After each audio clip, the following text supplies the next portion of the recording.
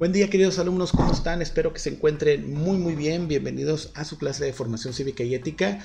Y en esta ocasión les traemos el tema Atendemos los conflictos con alternativas. Y bien, vamos a empezar. Cuando se nos presenta una situación difícil de resolver, es necesario escuchar las ideas de otros, pues aferrarse a una sola idea conduce a la cerrazón o la cerrazón acrecienta y la cerrazón acrecienta los conflictos. La creatividad es muy importante en los momentos difíciles, cuando aparece que no hay más opciones. Tener una actitud abierta para investigar alternativas de solución ayuda a evitar confrontaciones. Bueno, esto, esto viene en tu página de formación cívica y ética, página 83. Y pues bueno, vamos a ver esta situación de solución de problemas. Y bueno, aquí tenemos una actividad, dice, lean la siguiente situación. Al llegar a un estrecho puente, Doroteo ve que al otro extremo, fíjense bien, Doroteo ve que al otro extremo su vecina Rubostina, Rubostiana, perdón, Rubostiana, viene distraída con dos grandes canastas de sus compras en el mercado. Ella no se fija, fíjense bien, ella viene distraída, pero el que sí se da cuenta es Doroteo como él tiene prisa, o sea, Doroteo tiene prisa, avanza esperando que su vecina se detenga y lo deje pasar. Es decir, supone que ella se va a detener y lo va a dejar pasar. Robustiana, que ya no aguanta más las canastas, no ve que Doroteo ya está avanzando en el puente, pero es tan estrecho que no caben los dos. Casi a la mitad se encuentran y ninguno de los dos quiere regresar para que el otro pase.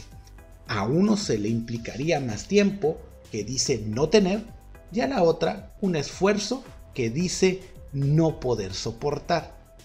Inventen los diálogos de la historia y elijan a dos compañeros para que la representen. Obviamente pues no vamos a poder representar esta historia, pero sí pueden hacer los diálogos, así que te encargo que en tu cuaderno hagas estos diálogos, ¿sí? Para que puedas hacerlo de una manera tipo historieta, tipo cuento, etcétera. Comenten las siguientes preguntas. ¿Cuál es la causa del conflicto? ¿Cuáles son las actitudes y emociones de los personajes en conflicto y qué alternativas de solución puede haber? Entonces, todo esto tú lo vas a resolver. Yo sé que eh, es algo eh, poco sencillo, pero vamos a resolverlo. Entonces, eh, y bueno, una vez analizado o viendo esto, vamos a analizar este esquema, fíjense. Eh, primeramente, hay posturas opuestas que discuten, así como Doroteo y Robustiana. Hay posturas opuestas. Si uno o los dos ceden, si uno o, los dos ceden, el, el conflicto termina. Pero si ninguno cede, como aquí lo vemos, deben dialogar. Pero si dialogan sin llegar a acuerdos, hay posibles agresiones ya sean verbales o físicas. Pero si dialogan sin llegar a acuerdos, entonces quiere decir que están atrapados y debe haber una mediación y una negociación. La negociación es, eh, muchas veces pensamos que nosotros al negociar tenemos que ganar algo. Entonces, el negociar quiere decir o significa perder parte de tus intereses y que la otra parte también pueda sacrificar algunos intereses. ¿Para qué? Para que haya un bien común. Este tipo de negociaciones, eh, bueno, mejor dicho, eso es una negociación. No vamos, una negociación no quiere decir que uno gane y el otro pierda. No, los dos tienen que ganar algo y los dos tienen que perder o ceder algo. Eso es una negociación. Y cuando hay una negociación, termina el conflicto. Y bueno, ahorita más adelante vamos a ver un ejemplo sobre tipo de negociación.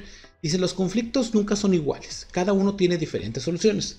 Por eso no existen respuestas únicas que sirvan para todos los problemas. Es necesario experimentar rutas novedosas, distintas de las que ya conocemos y que no han funcionado. Ensayar, ensayar, alternativas exige imaginación, interés auténtico por resolver cada conflicto y la práctica de valores en busca de soluciones pacíficas.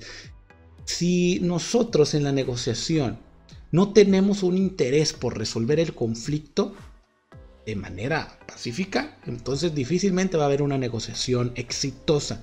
Nosotros tenemos que estar dispuestos a resolver el conflicto a pesar de que no ceda en algo. Entonces hay que pensar muy bien en eso.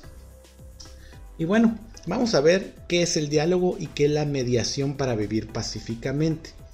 Vamos a ver estos dos tipos de historieta. estas historietas están en la página 86 y en la página 87 de tu libro de formación cívica y ética. La historieta 1 dice, dice así, niños y niñas jugaban una tarde en el parque hasta que Rebeca voló la pelota. Entonces, y aquí tenemos eh, algunas, algunas, este, em, tenemos a cuatro niños diciendo, buenas tardes, doña Berta, ¿nos regresa la pelota, por favor? Ya se fue la pelota con doña Berta, me imagino que la casa de doña Berta. Dice, no, hasta parece burla, a cada rato la vuelan. Ya está enojada ahí, ¿verdad? la doña Berta. Entonces, doña Berta, si los niños se comprometen a tener cuidado, se los devuelve, ¿verdad? Como que ahí pasó alguien que, estaba haciendo el aseo de la calle y intervino por ellos, ¿no? Intervino por los niños. Sí, tendremos más cuidado, lo prometemos. Todos los niños se comprometen a tener más cuidados. Órale, niños, a seguir jugando y no olviden cumplir su compromiso. Es decir, Quiere decir que doña Berta cedió el balón, pero con la condición de que los niños deben de tener más cuidado. Vamos a ver la historieta 2. Alfonso, ¿cómo es posible? Estás todo el día en el teléfono. ¿Hiciste tu tarea?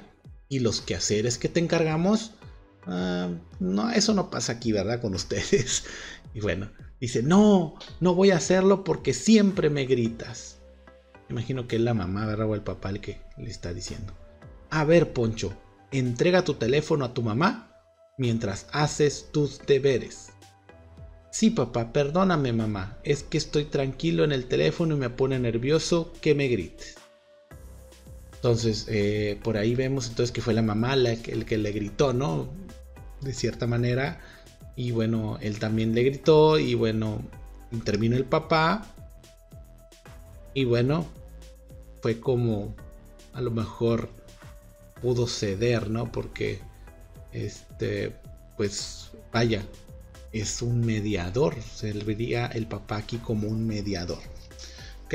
Bueno, vamos a ver qué es lo que nos trae. Dice el diálogo y la mediación para convivir pacíficamente. En ocasiones, cuando dos partes o más tienen un conflicto, se requiere de un tercero que propicie un diálogo que rompa las tensiones y ayude a encontrar alternativas de solución, tal como lo hizo eh, el que estaba haciendo la limpieza en la pública en la calle y así como lo hizo el papá, ¿verdad? Con, entre una discusión entre la mamá y el niño.